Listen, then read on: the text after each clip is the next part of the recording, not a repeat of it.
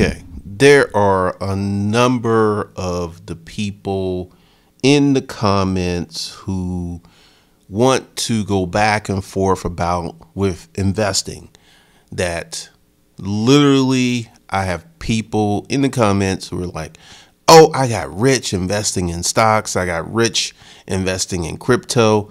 And whenever I ask for proof, they run away. This has been happening for years. Every time I ask for substantial proof that you invested money in the stock market or you invested money in crypto and you made a lot of money really, really quickly, when I ask for proof, I never get it, which makes me think that these people are lying. So here's a guy at the Plain Bagel investing won't make you rich properly. He did this video three years ago. Let's go ahead and react to it. Hey guys, it's Richard. You're watching The Plain Bagel. Welcome to another Party Pooper video where I ruin everyone's fun and you're sad at the end of the video. Today I wanted to cover a high-level concept uh, because 2018 was a crazy year with things like Bitcoin, the weed stock rally, tech stock rally. Uh, it was a very strange year for investments. You know, some investments did very well and some came crashing down. And I think that for people who started investing in 2018, it offered some very strange experience uh, that might have you know skewed what they expect from investments. Um, and I also wanted to cover this topic because I've been getting a lot of dumb YouTube ads about uh, people selling trading strategies. You know, people saying, "Oh, I've used this one strategy, this very simple strategy for 10 years, and I've made millions of dollars or whatever." Um, I think those are very harmful, and in the current environment, advertisements like that and programs like that are left to thrive, uh, usually at the detriment of many investors. So I wanted to take a moment to make a very sobering statement, which is that investments won't make you rich, probably. At least not in the short term. Investments are able to bridge the gap. Notice that he explicitly said short term. I am constantly hit over the head with people claiming that they've got rich investing very quick within a matter of months or a matter of a few years. This guy, he works in the investment world. He has a job at a bank. This is something he deals with on the professional level. Between what we have and what we need, but it's not able to make wealth out of thin air. And I'll explain later why I think that having this mentality that investments can make you rich is not only foolish, but it can be harmful to your own financial well-being. Uh, but we'll start by going over the three points that I maintain show uh, why investments won't make you rich. And the first one is that you need money in the first place to become rich with investments. Even if you make an incredible investment decision, you need money in the first place for that. How many times have I said this? How many times I have literally had people come at me in the comments talking about you don't need a large brokerage account. You don't need money. Literally. And I have looked at it. There's a girl by the name of the Humble Trader. And she talks about how she made $25,000 and she had a million dollar brokerage account. She bought like 6,000 shares of the stock and the price came up to a million dollars. I consistently see this. And once again, many folks are on this pipe dream, this fantasy that they can turn $100 into $100,000 real quick, real fast. It's simply not true. That to reap proper rewards. If you invest $1,000 and earn 100%, that's great. But you made another $1,000, which doesn't make you rich. Uh, you know, great return, but you're not quite there yet. And people might point to individuals who have made a lot of money off of investments and you know say, well, they did it, why can't I? But there was a survey done by Spectrum Group which polled households uh, with net values between $100,000 and million dollars outside of their primary residence. So in addition to the value of the house that they lived in. And they were asked to rate some core beliefs on a scale of 0 to 100 based on how important they believed it was uh, for them creating their wealth. So basically asking them, you know, how did you get to this point in your life where you have this wealth at your disposal? And what they found was that most of the highly rated statements all had to do with savings, not key investment decisions. And one of the highest scoring statements with a uh, average score of 81.98 was the following. A dedicated and regular savings program is something I consider very important. So a lot of these people made their wealth from saving money, not from investing uh, alone. I have a whole course that is centered around money management and saving money. Saving money. And I think it's important to always come back to this idea that before we make incredible financial decisions, we need to be fiscally responsible. Uh, you know, your investments will only do as well as your savings program. Uh, if you're spending more money than you're making with investments, well, you're negating the whole impact of, of smart investing. My second point as to why I maintain that investments won't make you rich is that on average, investments don't make anyone rich. The S&P 500 for the past 90 years has an annual return, average return of 9.8%, which by the way is pretty darn good in the world of investments. If you could lock in 9.8% for the rest of your life, I, I'd go all in. I'd, I'd certainly lock that in. But it's not going to make you a millionaire overnight. You can just do the math to see that. Let's say, for example, that you have $10,000 to invest. Um, and you're able to get that S&P 500 average return of 9.8%, ignoring taxes and fees, which uh, would probably bring that down a few percentage points. Uh, but let's say you invest that amount and you earn this return, it would take you 51 years to hit a million dollars uh, with that amount. So unless you start investing, how many times have I said that? How many times have I said that? That when you start off with a small amount of money, it will take you 40 to 50 years to turn it into a million. I've said that over and over and over, and I literally have people coming from me, chopping my head off, talking about, well, you don't need a large brokerage account. No, you don't need a lot of money. At the age of 15 with $10,000, you're probably not going to hit a million dollars by the age of 65. Um, you know, you might get close, and, and by all means, uh, it also shows you the power of investing, but you're not going to hit that milestone in a very short period of time. Now, uh, like I said, a lot of people, when they think about investing and they think about earning high returns, they want to do so in the short term. Um, so let's say that you instead want to, uh, with the $10,000, hit a million dollars within 10 years. Uh, with that, you would need to be earning a return of 59% every year for the 10 years and it's not likely that you'll find one investment that can earn you that amount. Most investments, uh, from you know my understanding, will earn you a high return for a few years if they're a high growth company, and then kind of taper out. So that means that you have to continually find more ideas and more companies that are in that early stage and earning that you know almost 100% return.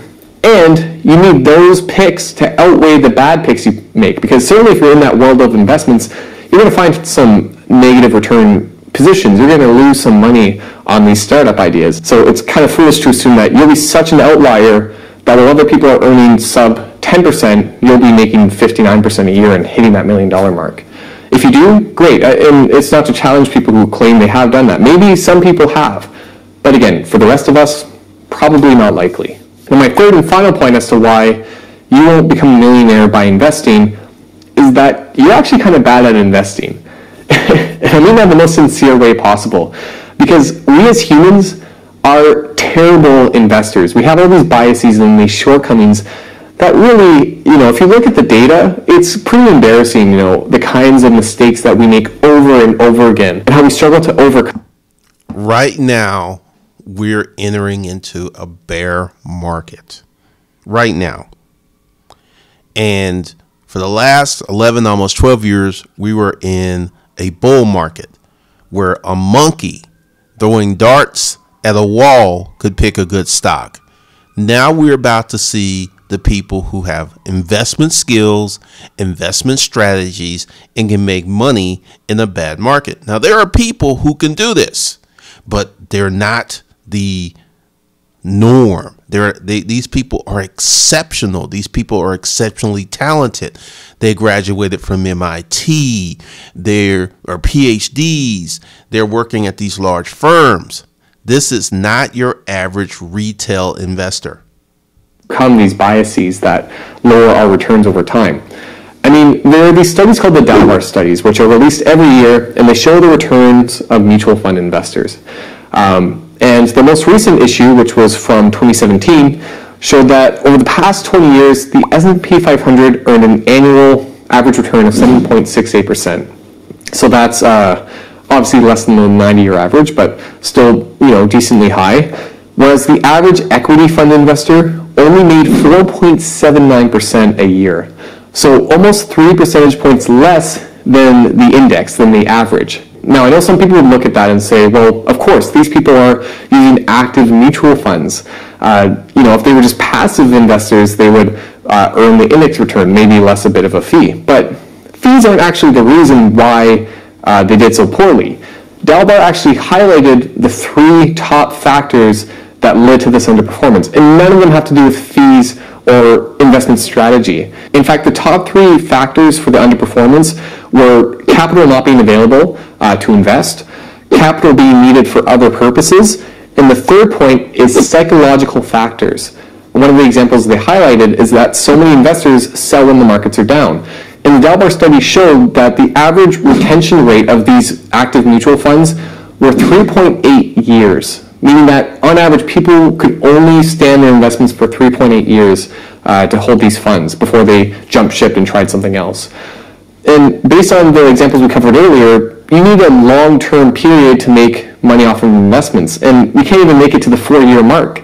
Uh, so it just goes to show how bad at investing we are on average. And there are specific biases that kind of explain why we make these poor decisions, and they've been defined time and time again uh, and it's worth highlighting them. Uh, one of them, for example, is the loss aversion bias, one of the biggest ones, which is when things are down, we want to our losses. We worry about losing more money, and that often leads us to selling at the worst possible time. There are things like anchoring, which is when something happened in the past, we have a hard time changing our perception of how things should occur in the future based on this past event. Bitcoin is a great example of that. Some people saw the massive return of Bitcoin and are still holding on thinking, that that return is going to repeat because it happened in the past. It should happen again.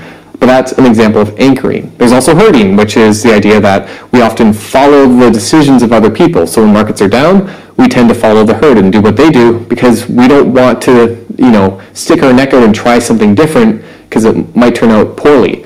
And then there's things like regret aversion, which is kind of the same idea, where we don't like the feeling of regret, obviously. But that can thereby paralyze us in making decisions. We don't want to regret uh, selling when things are high. We don't want to regret uh, you know, holding on when things are low. We worry about making decisions that are tough, and thereby we usually don't make a decision when we need to. And it's kind of funny, you know, the only way to become a great investor is to acknowledge that you're a terrible investor, to, to see these flaws and to be aware of them, to know that, you know, I might make a bad decision what are the steps I can take to avoid that, to make sure I don't, you know, succumb to the behavioral biases I have. And you know, it certainly doesn't help that we have all these ads from rich people flaunting their wealth and saying, you know, I'm going to show you how to make money. Uh, you know, trying to sell you on the idea of uh, getting rich quick. And you know, I get it. I get.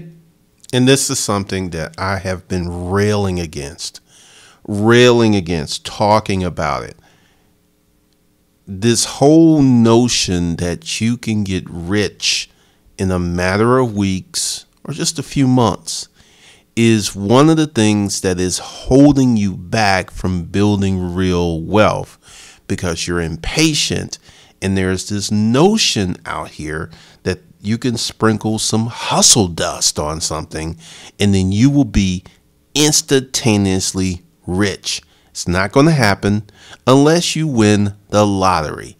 And look at the odds of winning the lottery. That if you're trying to show people that you made a lot of money doing something, that you should probably show them your money. Whereas I'm here in front of my IKEA furniture, you know, trying to tell you how you should invest. Uh, but at the same time, you know, it really, it can really be used to abuse the viewer. Uh, these people basically promise these things to you. They show you these things and they say, I can offer you this through this five step program or through this marketing strategy.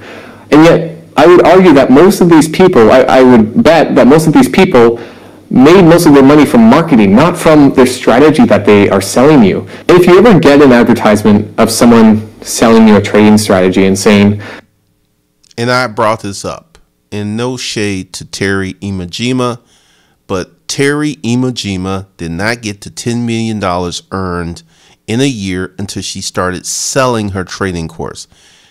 Terry Imajima, I don't know what her numbers are, but I would not be shocked if Terry has made 30 to 50 times more money from her course than she actually made from trading.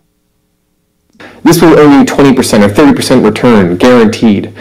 Just ask yourself, you know, why are they selling this to you? Because if this person really had a proven trading strategy that could earn them, you know, above par returns, they should just sell it to a hedge fund. They could be paid millions of dollars for selling the strategy. Why are they selling it to you through a YouTube ad? Chances are it's because they know the hedge fund won't bite, but you might. And don't get me wrong, there's a difference between programs that educate and programs that promise high returns. I can't fault someone for selling an educational program, even if it's a few thousand dollars, to say, I'm going to show you the world of investments and show you how it works. But some of these people are saying, I'm going to show you one simple trading strategy that will make you a lot of money. And maybe you haven't seen these advertisements for these trading strategies and stuff, and you know, you might think, well, Richard's just being cranky. He doesn't want people to find out how to invest and to make a lot of money because then they'll stop watching his videos. But it's not just me being, you know, a bit cranky. I, I am a cranky guy. I know that. But it's not just that. The SEC on its website has a warning about these advertisements, about programs that promise to train you to show you how to earn high returns. Uh, and I'll share the link down below showing the warning. But it just goes to show, like, this is a real problem. This is something that a lot of people are losing money on. But anyway, to tie this all back, investments probably won't make you rich. And that's okay. You know, investments are still a great tool. If used over the long term, they can make you a lot of money, even with a you know, single digit return. But you just need to gauge your expectations. You need to make sure that you aren't expecting too much from the world of investing.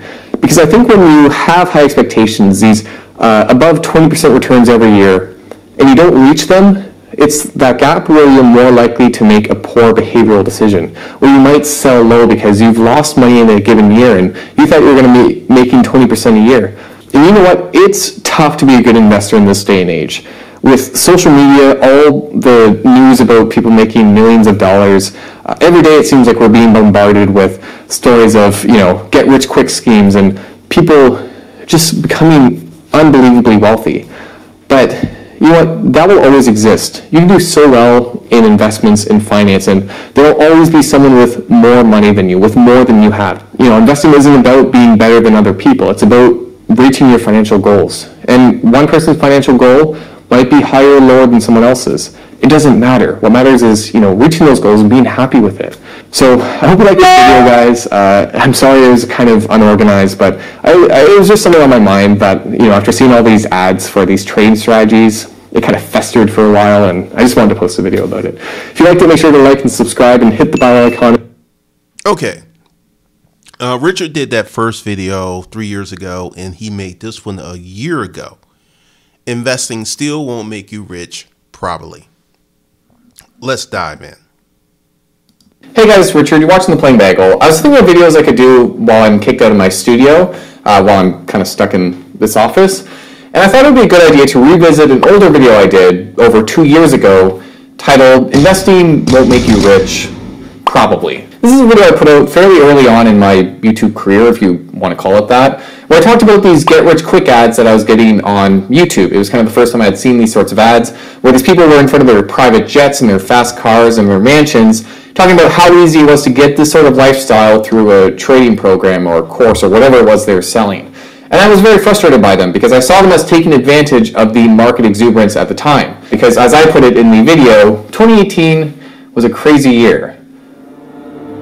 I didn't know. I, I didn't know.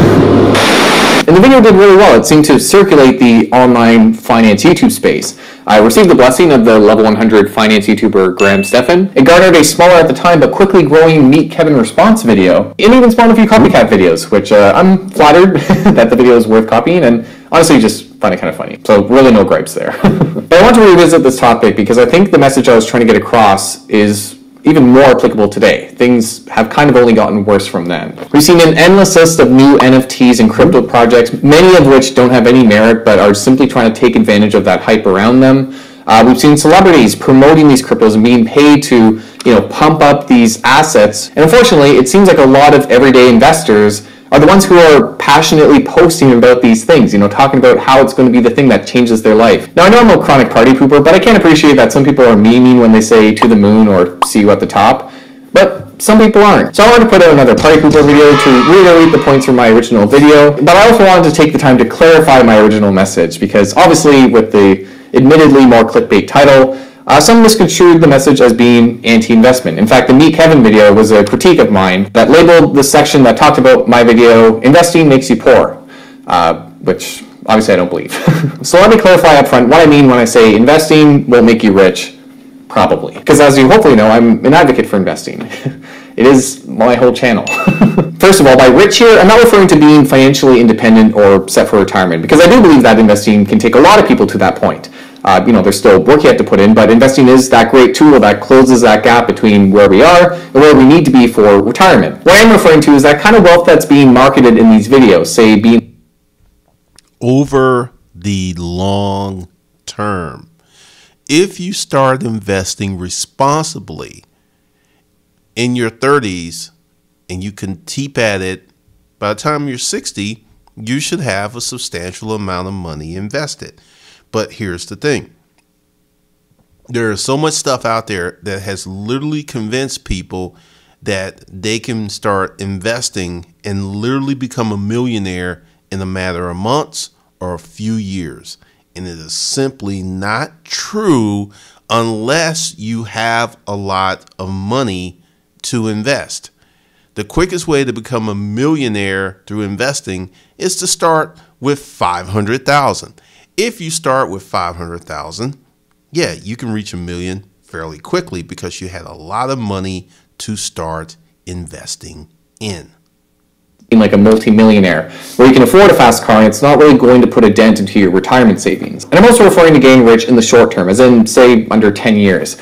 Uh, because obviously, the longer time you have, the more money you can compound, and really anyone can become the richest person in the world if they have all the time in the world. So probably a better way to word it would be investing or even speculating won't make you rich in the short term, probably. and I always include that probably because yes, there are stories of people, you know, making a killing off of Bitcoin or whatever. But the point here is that investing can only do so much. 99.9% of the time, it's not a miracle worker. And you need to fuel your returns with savings, with money that you've earned from active income, say, and put into the market. It's very rare for individual positions to skyrocket by such a degree that it changes your financial situation. And anyone who tells you that you can go from a minimum wage working cashier to a private jet flying, yacht riding millionaire through just investing, through taking, you know, that small amount of savings and putting into promising positions that will skyrocket, they're likely trying to scam you. One word, Carl Runefelt the guy who was a cashier who claims to become a billionaire in five short years. Or at the very least, sell you something that's probably not in your interest. And to try to exhibit the limits of investing, I want to go through a few exercises to show you the numbers of certain scenarios so you can better kind of comprehend what investing is capable of, you know, the great tool that it is, but also its limitations. As you probably know, the long-term average of the S&P 500 is roughly hmm. 10%. So you could view that as being the market return that most people are able to access if they just put their money into, say, an index fund. And 10% is a solid return. Over the long term, not many people actually are able to achieve that amount. But the thing is, this 10% is both before taxes as well as before inflation. And when you consider those two variables with some assumptions, the return that you actually see is closer to 5.4%, almost half of the original return. It's not nothing and certainly better than a savings account return, but it's not exceptional either. So now to demonstrate what that return might mean for an investor, let's say that you start off with $10,000 and you want to reach a million dollars just by investing that $10,000 at this market rate. In real after-tax terms, it'll take you 87.6 years to become a millionaire, to reach that $1 million mark uh, which obviously isn't going to work for most people. But if you add savings to the mix, that time period shortens quite a bit. So let's say that every year you put $3,000 into the market in addition to that initial investment. So it's about $200 a month that you're putting into your investment account. At this market rate that you're able to achieve, it would take you 52.8 years to turn that $10,000. Did he say if you start with $10,000 and you put $200 per month in the market, it would take you 52 years to get to a million dollars. So if you started at 20, you'd be 72 before you were a millionaire, only putting a little amount of money. Now, if we as humans had a life expectancy of 150 years, this would work like gangbusters because you could start at 20 and by the time you're 100 you might have two or three million dollars and another 50 years to live. But average life expectancy is about 77 so you become a millionaire at 72 then you die at 77 big whoop. There's plus your savings into a million dollars. So great we've shaved off a lot of time but that's still a bit bigger than most people's average career length you're still spending a lot of your life just to get to a million dollars. So, how do you get there sooner? Well, you can increase your savings, you know, try to earn a bigger income so that you can get more money going into the market, whether that be starting a business or taking on education to earn a Now, let's look at the math. If you're investing 20,000 a year, which is like $1800 per month, it's still takes 24 years. Still takes almost 25 years at $20,000. So to really crank this down, you need to be at about $30,000 a year invested to really get to your million dollar mark or beyond much quickly. Better job, anything that lets you save more money. But let's say that instead of saving money, you focus instead on the return aspect. You say, you know, I only have this $10,000, I can only put aside $200 a month. Let's focus on bumping up that return figure. And you know what, while we're at it, let's try to get to that goal of a million dollars in real terms again. Um, within a 10 year period, like we mentioned earlier. With these variables, to reach that million dollars in a 10 year period, you would need a after tax real return of 51.5% which means that you need a pre-tax nominal return, so what you actually earn with your investments, of 72.7%. Now, admittedly, that's a little high. for reference, some of the best investors in the world, like Peter Lynch and Warren Buffett, are on record for only earning a only a long-term average return of 20 to 30% roughly in that range.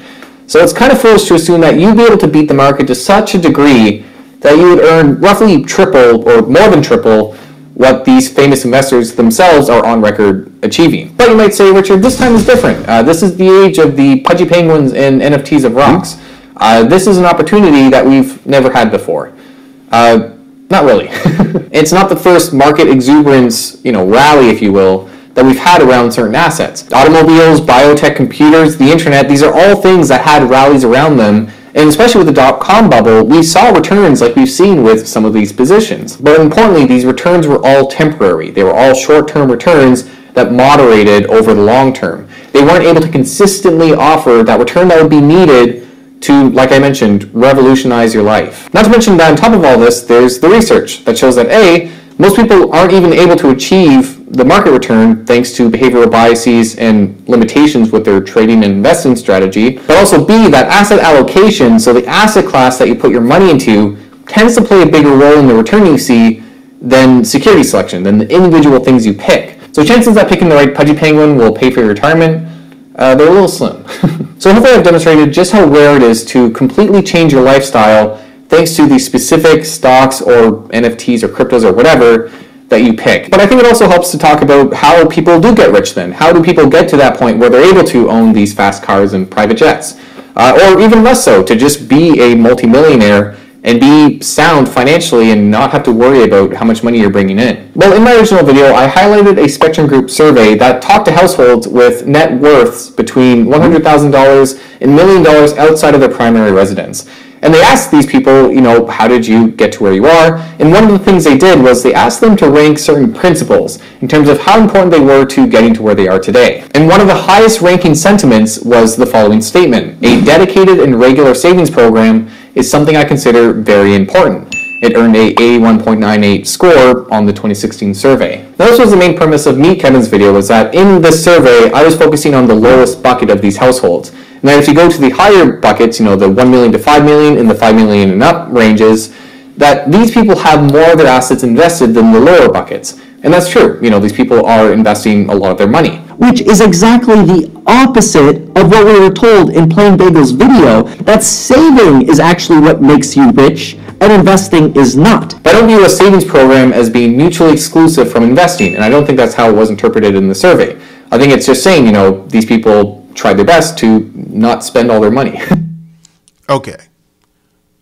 Uh, when you have income that's above and beyond what you need to live on, let's say you make $500,000 a year and your burn rate, the amount of money that you need to maintain yourself is 150.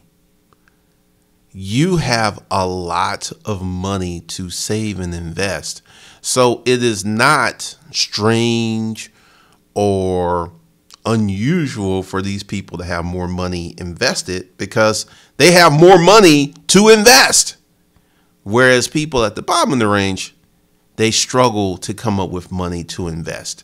If you're making $500,000 a year, uh, I think taxes are going to hit you at about 150, which is going to leave you 350.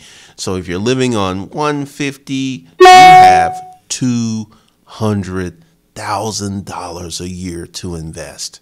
Or literally, you could buy a piece of rental property out in the Midwest, cash money every year. It's a totally different ball game when you already have money.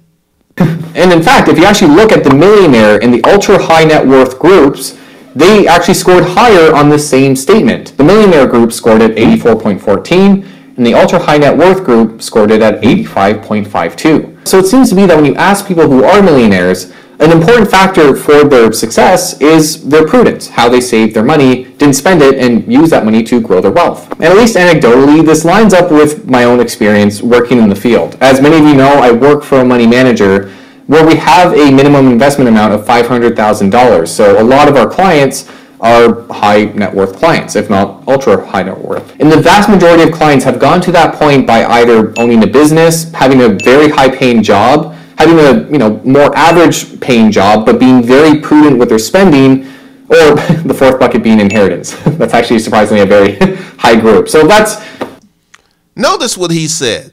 The number one thing he said, own a business. Own a business. Number two, have a high salary. Number three, average salary plus prudence. Number four, inheritance. Not one of these people in this bucket who are contributing to this high yield investment fund where you have to have 500,000 to get into it are investors. Not a one. Number one, own a business. Number one, own a business. I've been screaming this. I've been jumping up and down. I have been talking about this for years, and I have all of these lying, fake investors saying, Oh, no, Glendon, you don't have to do that. No, Glendon, no, no, you could go ahead and take this $100 and flip it into Forex or Bitcoin and get to 100K in two weeks. A strategy as well for getting rich. So all that is just to say that if you put millionaires into different categories, the group that you know got to being a millionaire thanks to a certain investment kicking off is probably one of the smallest groups out there and it's clearly not the most reliable way to get into that stage in your life. And if you see someone who's wealthy promoting something, using their wealth to try and prove to you that this thing works, most of the time they didn't make their own money from that thing, but rather either the selling of that program or some other thing that's totally unrelated or different from what they're selling you. Logan Paul obviously didn't get rich from Dink Doink. And that's not to say that people shouldn't be able to make cryptocurrencies and NFTs and all this stuff. That's truly not what I'm trying to get at here I'm not trying to say that we should heavily regulate the space, but I do think there need to be more protections in terms of how these things are marketed. That applies both to trading courses and to actual assets. There's a reason that you don't see financial advisors saying, guys, this stock is going to the moon. it's because they're heavily regulated and that's incredibly unethical. and yet you can have people who made a cryptocurrency promote it as an incredible revolutionary investment opportunity that will make you a billionaire and then you know when you challenge them it's oh it's not financial advice this is just a social experiment if you will uh, but guys one that will make you a lot of money. Trust. But until we see more action we are largely left to fend for ourselves. So if you see an opportunity that's being presented to you as life changing, as something that will make you rich, that you know is very easy, very short term, and could change your life, just ask yourself, why are they selling it to you? Why are they selling to you, say a YouTube viewer, instead of a higher net worth person with more money? Why to you and not a hedge fund that could pay millions, if not billions up front for a proven investing strategy or asset? Why sell you this thing up front instead of just agreeing to manage your money on your behalf and earning these returns themselves and earn a very sizable fee doing so over a long period of time? The answer, of course, is because they don't have a promised method for earning these returns. And in taking this approach where they sell you the asset, they sell you the course or whatever it is, they are transferring the risk of that thing not turning out as they said it would to you, the buyer. So of course they'll say whatever it takes to get you to buy that thing because once you've taken it, they've made their money, they're done. And they don't need it to pan out anymore. So that's a lot of rambling for me, but what's the takeaway?